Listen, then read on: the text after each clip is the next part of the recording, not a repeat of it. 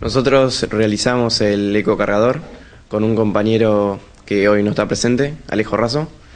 Nuestro proyecto se basa en la problemática de la actualidad de los celulares, que evolucionan, pero la batería siempre sigue siendo la misma, por lo cual, y la síntesis de nuestro, nuestro trabajo, es lograr cargar tu celular mientras usas la bicicleta, contando con un alternador, algo parecido a un dinamo, y además con un soporte donde puedes llevarlo, así lo, lo ajustás cualquier teléfono y usarlo en GPS o lo que lo quieras utilizar.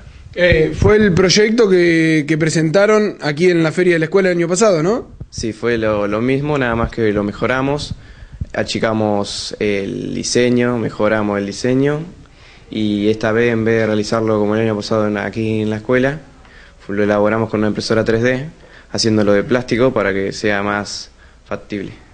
Eh, y bueno, ¿cómo fue la, la devolución? Y bastante bien, nos hicieron varias preguntas, por suerte pudimos responder la mayoría, teniendo así casi ningún problema. Algunas veces nos pusimos nerviosos, pero logramos salir adelante y por suerte pasar a la segunda instancia. Eh, bueno, ¿fue uno de los, de los proyectos elegidos para la próxima instancia? Sí, la verdad muy, muy feliz porque la, no me imaginaba lograr pasar, pero, pero logramos hacer, terminar el proyecto a tiempo y con una buena presentación y que le haya gustado al, al jurado. Eh, ¿La próxima etapa se sabe dónde va a ser, cuándo o todavía no? Me parece que es en Mar del Plata, pero la fecha todavía no, no está puesta. Debe ser después de las vacaciones de invierno. Eh, eso ya es eh, instancia provincial, ¿no? Sí, ya participamos con la, toda la, la provincia. Bueno, eh, Gonzalo, la, la, jornada comenzó temprano y llegaron acá medio tarde, ¿no? Se hizo muy largo. Arrancamos acá a las seis y media y llegamos a las ocho de la noche. Así eh. que se hizo, se hizo largo. Eh, ¿Y quiénes participaban en esta, en esta instancia? Había creo que 114 escuelas, eh, o 114 están, y, y, participaban desde nivel inicial hasta, hasta nivel secundario. Estaba dividido por etapas y por niveles. Eh, de escuelas de la región. De la región. Bueno, eh, por acá contanos en qué, en qué proyecto estuviste participando. Estuvimos trabajando en el proyecto de cómo la empanada nos representa culturalmente a la Argentina.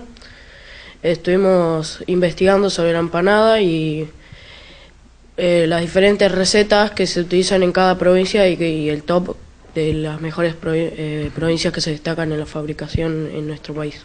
Eh, ¿Esto con qué materia lo, lo, hicieron? Construcción de la gasolinería en el en segundo año. Con todo el grupo estuvimos trabajando y fuimos dos representantes titulares y uno suplente. Y bueno, ¿cuál fue la, la devolución que recibieron del trabajo? La devolución todavía no la eligieron verbalmente, pero la enviaron por texto. Dijeron que el proyecto estaba muy bueno, una idea muy original, que era la primera vez que lo vieron en, en, en la feria y que estuvo bastante bien redactado y que les gusta mucho.